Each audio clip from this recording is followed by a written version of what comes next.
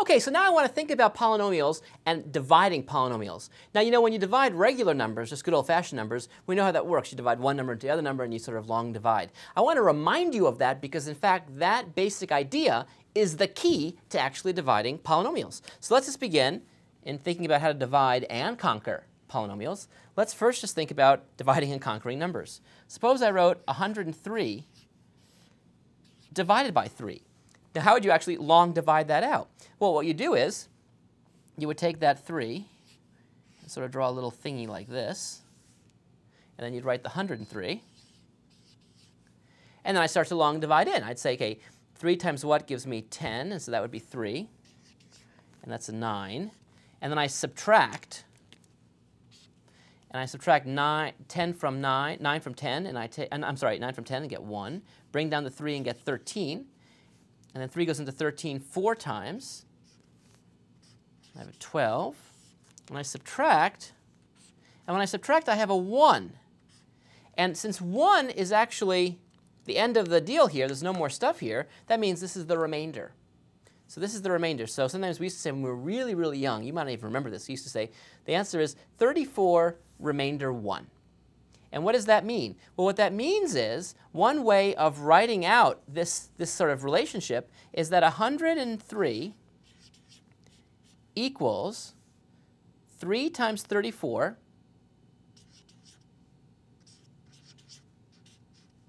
plus a remainder of 1.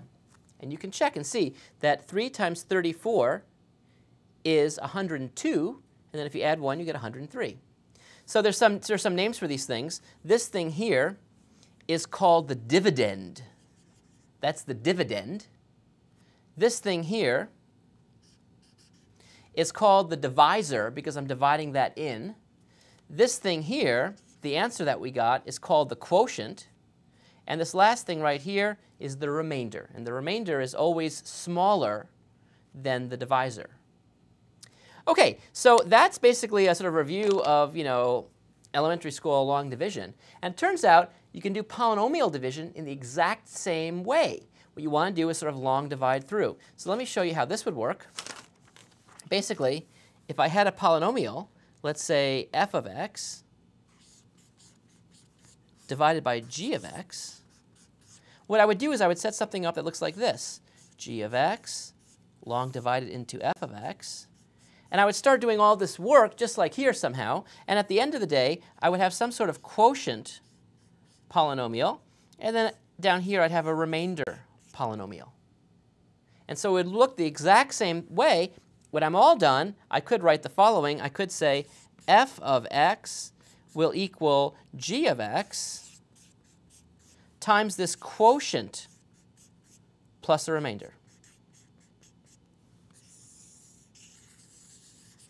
So it looks very much like this, very much like this. I have a dividend, I have a divisor, I have a quotient, and I have a remainder. Now, how do you actually find these things in practice? Well, let's do an example, and you'll see it's just the same thing as this long division here. Suppose I take a look at x to the fourth plus 3x squared minus 6x minus 10. That's a big old polynomial. And I divide it by x squared plus 3x minus 5. Well, that's going to be a big, long division. Let me show you how you'd set this thing up and how we'd actually divide. Now, first thing I do is write this out here. So I take uh, the x squared plus 3x minus 5, and I'm going to divide that now by what? Well, by this long thing. Now, I'm not only going to write that in, but I'm going to make sure that every single possible exponent appears. So, for example, I have an x to the fourth, but notice I have no x cubes. So I write that in as a placeholder with a zero coefficient. So it's there invisibly. And then I keep going. I have a 3x squared. I have a minus 6x, and I have a minus 10. So notice that every single value, possible value for exponents appear. Even the ones that aren't really there, I put in with a zero. That's going to help me as a placeholder. Now what I do is I just look at the first term here and the first term here, and I do a long division. I say, what do I have to multiply x squared by to make it x to the fourth? And the answer is I have to multiply that by another x squared. x squared times x squared is x to the fourth. So I'd write here x squared. Now I take the x squared and multiply it by every single term here. I take this times that, which means the whole quantity. So I'd see an x to the fourth. I see a plus 3x cubed. And I see a minus 5x squared. Now, what do I do? Well, the next thing I do is I subtract everything. Now I've got to subtract everything, everything. Don't make classic mistake number four, the subtracting mistake. Don't forget to share the negativity. So if I share the negativity, 4x minus 4x, that's 0. And that should always be 0 because I deliberately figured out what to multiply this by to make it exactly that. But then I have these other terms. I have 0x cubed minus 3x cubed. So that's a negative 3x cubed. And then I have a 3x squared minus a negative 5x squared. So that means I add and get 8x squared. And then what do I do now when I long divide? I bring down the next term, just like in good old-fashioned long division. So I minus 6x. And then I come back and ask, OK, what do I have to multiply x squared by to make it look like minus 3x cubed? And the answer would be minus 3x because minus 3x times x squared is minus 3x cubed. So now I take this term and multiply it by every single term here. And let's see what happens. If I multiply it by this, I see minus 3x cubed. That's good. It should be the same thing as this. And then here I see a minus 9x squared. And this times this is a plus 15x. And now I'm going to subtract again. And I have to subtract everybody. And when I subtract, what do I see? Minus 3x cubed minus minus 3x cubed, that's 0. Then I have an 8x squared minus negative 9x squared. So I add and see 17x squared.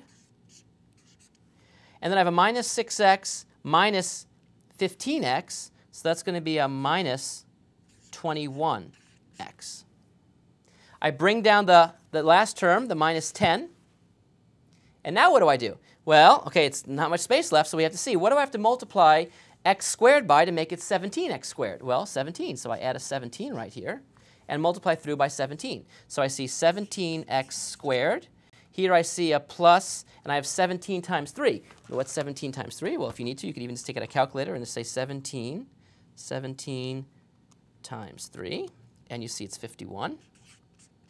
X and then 17 times minus 5, so you take 17 times 5, and you subtract minus 85.